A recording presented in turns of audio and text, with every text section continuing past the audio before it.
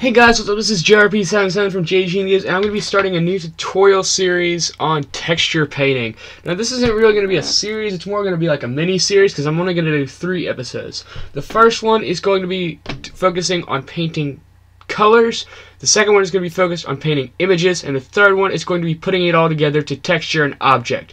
Um, so I'll get those out. They'll kind of come in whenever they come in, because I'm still learning the Blender 2.7 5 um, texture system. So I'll tell you guys when I get that down.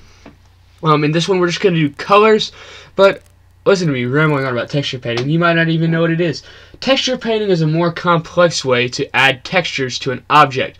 Rather than just going by a UV map and importing an image and putting it on there, you can put different colors on there. So I'm going to show you guys today how to paint colors and different of objects onto there. It's a better alternative than editing the UV map with um, Photoshop or something like that, and it's actually built into Blender and it's free, so why not use it? Before we get started with this first tutorial, don't forget to check out our website. There will be an annotation up there, also a link in the description. Don't forget to subscribe because if you subscribe, you won't miss a, um, a tutorial in this series or any of my other series.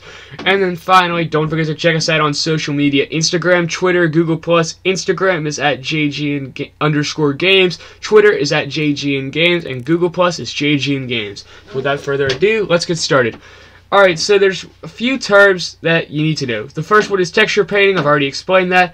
And then the other one is UVs. I kind of talked about UVs in that texturing um, um, episode of the Game Asset Creation, um, but I didn't really get into it that much. I used an image off the internet, and that's all I did. I didn't have to go in and paint stuff, and I'm going to show you guys the alternative to making a to making the textures in Photoshop and then importing them in and then putting them on the UV where you want them to.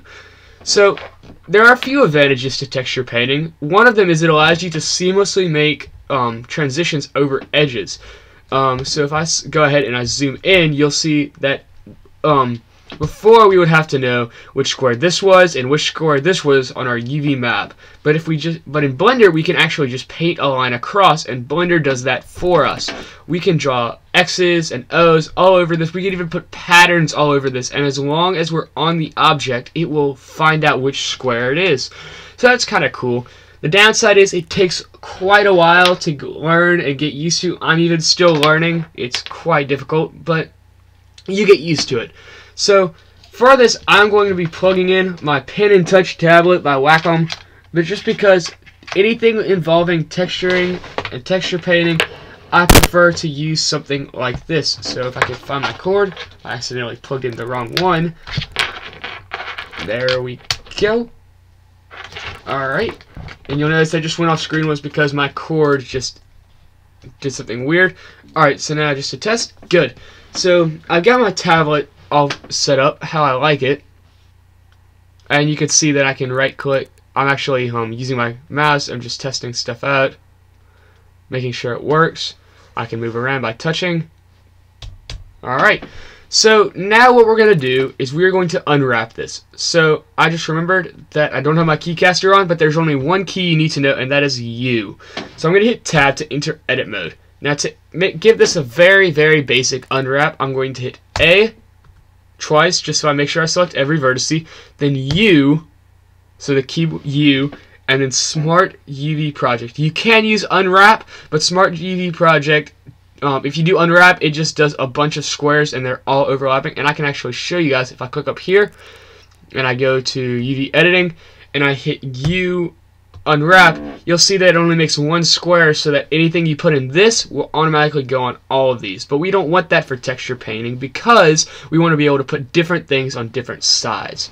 So I'm going to hit U again to override, not hit light map pack. I'm going to hit U, smart UV project. You can keep all these the same. I'm going to hit OK. And you'll see it gives us like this three, all the squares right here.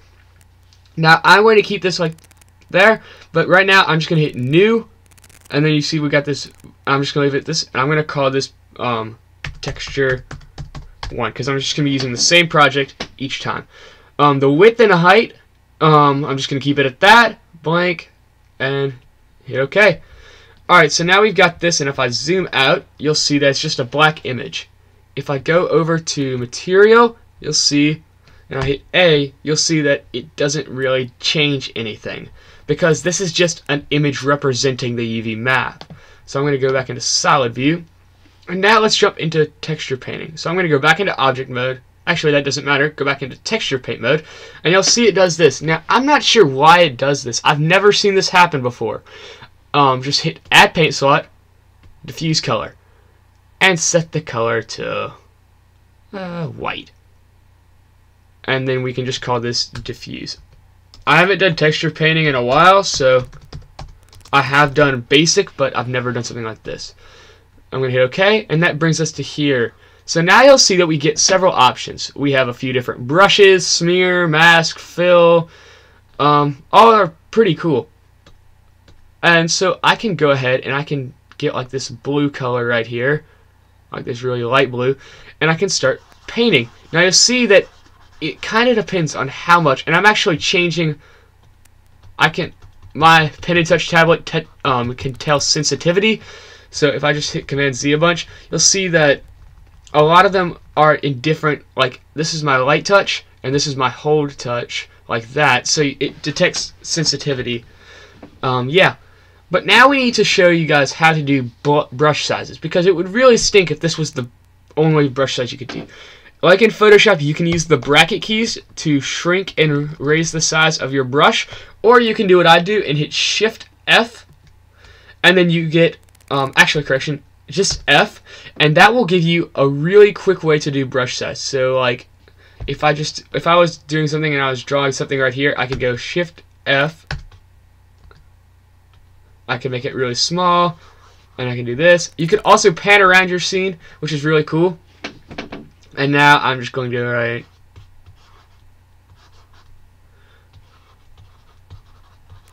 there, JGN Games.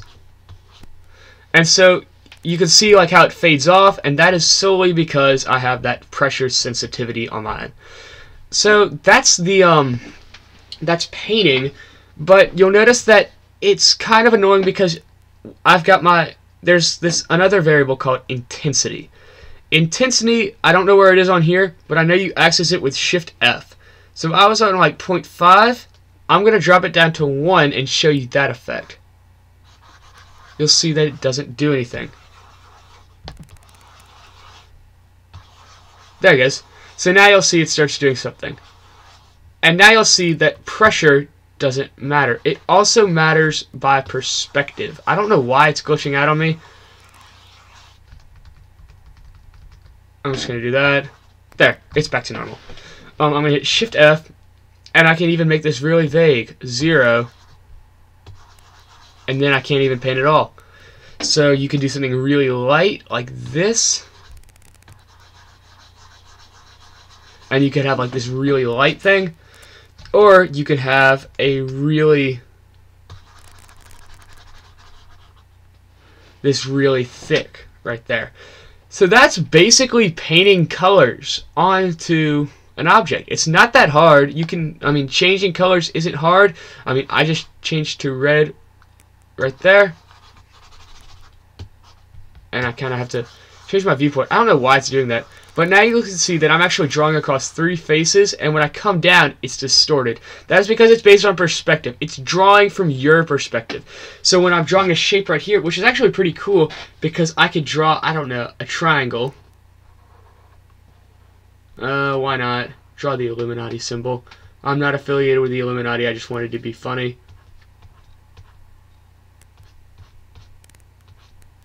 And now you'll see uh, I didn't mean to draw that one.